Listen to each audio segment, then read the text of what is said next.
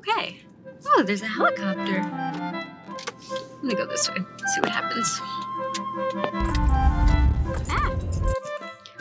I was talking to Dina the other day, and if you don't know who Dina is, I'm sure you will soon if you continue to watch my channel. She mentioned sweet potato gnocchi. She's like, what if you do sweet potato gnocchi? And I was like, what if I do sweet potato gnocchi?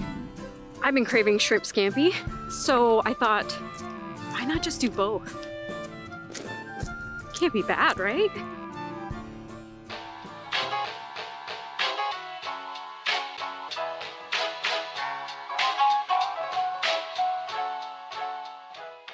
Alright, so here's the game plan. I'm gonna attempt Don't Conform to the Norm, Sweet Potato, Gnocchi, Shrimp Scampi. First thing I need to do is get out my sweet potato. Now to cook the sweet potato, I'm just gonna boil it in a pot of boiling water, and then after it's fully cooked, I'll need to take the skins off. Once I have the skins off, I'm gonna grate this potato. If I had a ricer, I would use that, but I don't have a ricer. You don't really want to mash it because then it has a tendency to get gummy. And with gnocchi, you really want it to stay fluffy, as much as possible. Grating it into a flat, thin layer on your cutting board will allow the moisture to escape so that it'll be less watery, and it'll also give you a nice flat surface to sprinkle the flour over the top of it. That way, you won't get any clumps of flour, and it'll be evenly distributed amongst the potato. Now, because I'm concerned that this is going to fall apart once I start cooking it, I'm going to add an egg, and I'm also going to add some fresh grated Pecorino Romano cheese. I think between the cheese and the egg, It'll bind the potato enough together so that it won't fall apart. So I know what you're thinking. Audrey, why are you trying to reinvent the wheel here? Just go look up a recipe for sweet potato gnocchi. And to that I say, where's the fun in that? I very intentionally did not look up a recipe for sweet potato gnocchi. I think every once in a while, it's important to bring back the lost art of figuring things out on your own. Okay, now that I got that off my chest, back to the game plan. Once I have the flour all sprinkled over the top, I'm gonna knead this as little as possible. I just wanna fold it together very gently. Wait, before we go any further, we need to prep the shrimp. I'm not cool enough to have fresh shrimp, so I need to thaw my shrimp, which I'm gonna just do in a bowl of cold water. While the shrimp is thawing, then we have an opportunity to shape the gnocchi. So I'm gonna take my ball of gnocchi dough, roll it out into a thin snake-like shape, and then cut that snake shape into little chunks. And the correct tool for this is called a gnocchi board, at least that's what I call it. I'm sure it has an official Italian name, but I don't know what that is. You could also just use a fork. Or you could do none of those things and just leave them in the little pillowy chunks and not shape them at all. I made my own gnocchi board from a piece of scrap wood and some radio wire, and you'll see that later. Anyway, I'm gonna get a pot of boiling water going for the gnocchi, Add a bunch of salt to that because at this point there's no salt in the gnocchi. While the gnocchi's boiling, I will take a little bit of butter, melt it in a frying pan, mince up some garlic, drop the garlic into the butter and let it soften, get all those good garlic oils out and infused into the butter. And then parsley because it's pretty and because it's good for you. And then just a couple tablespoons of butter is probably not going to be enough to coat the shrimp and the gnocchi, so I'm going to add white wine, just to give a little bit more volume to the sauce. Once that's good and saucy, add the shrimp. If you're using raw shrimp, then it'll only take a couple of minutes to cook. Then the gnocchi, hopefully, by this point, hasn't fallen apart and is done, and you'll know it's done because it'll float up to the top. I'm gonna throw the gnocchi in, stir that all together, and then that should be it. I think all that's left to do is just serve it, hope for the best. Oh wait, definitely want to squeeze some lemon on top. So I'm going to get a lemon wedge, squeeze that over the top of it, get some good, nice, tangy, lemony flavors, extra parsley, of course, extra pecorino romano, because let's face it, everybody likes a ton of cheese on things. And then that's it. I have a good feeling about this.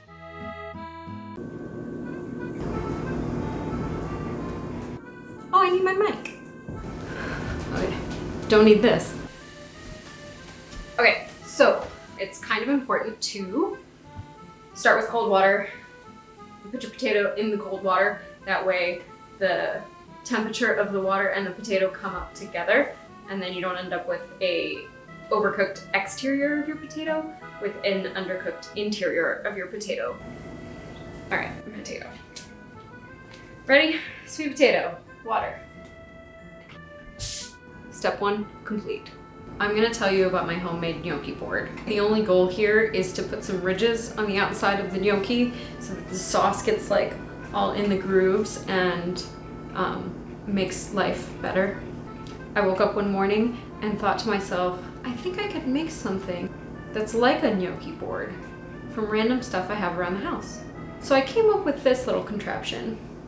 It is a piece of scrap craft wood that I had lying around from a previous project, and, and this is radio wire. I took a flathead screwdriver and I took the flathead of the screwdriver and pressed little grooves in the corner and then I wrapped the radio wire around it really tight and secured it in the back.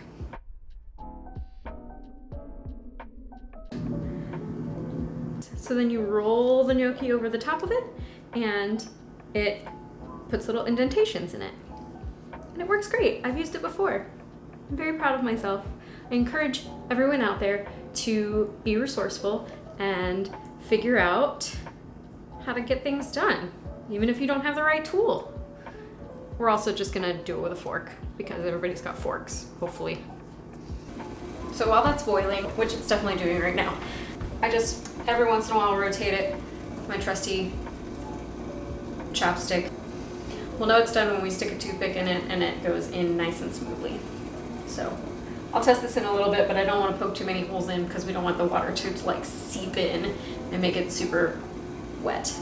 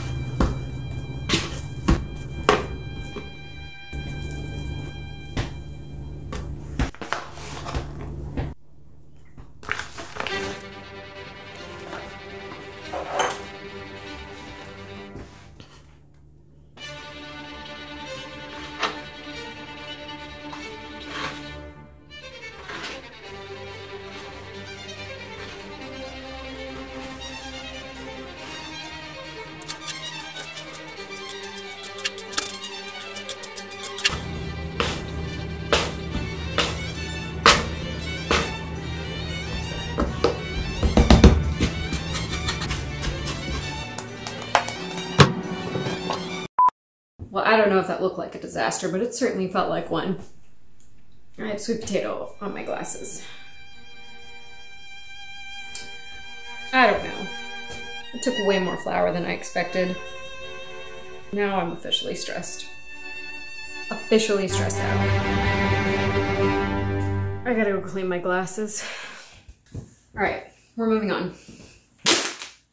It's time to thaw some shrimp.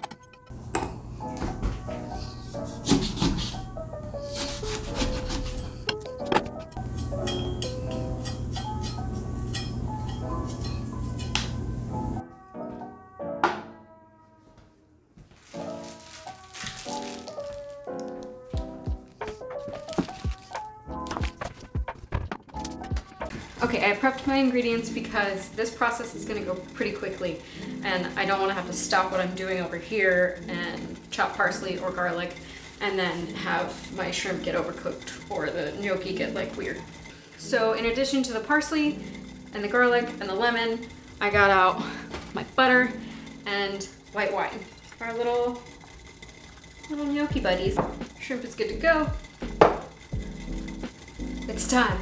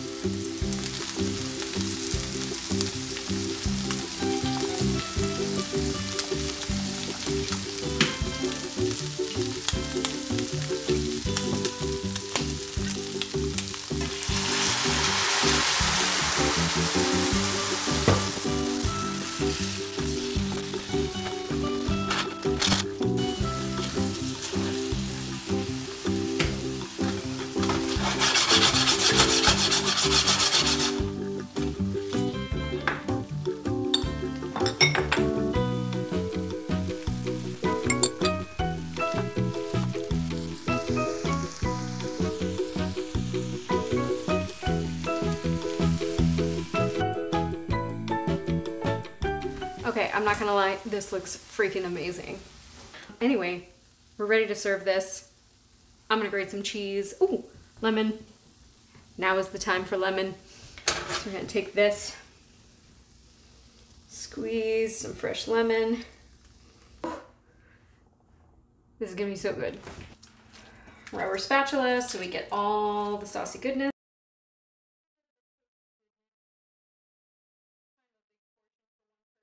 Oh man. Look at that. Look at that. Oh. I need a fork. Okay. All right. It's the moment of truth. Here we go. Hmm. Oh man.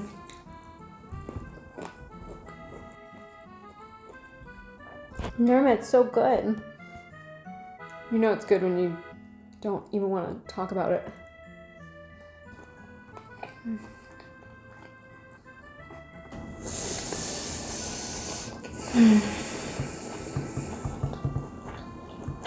All right.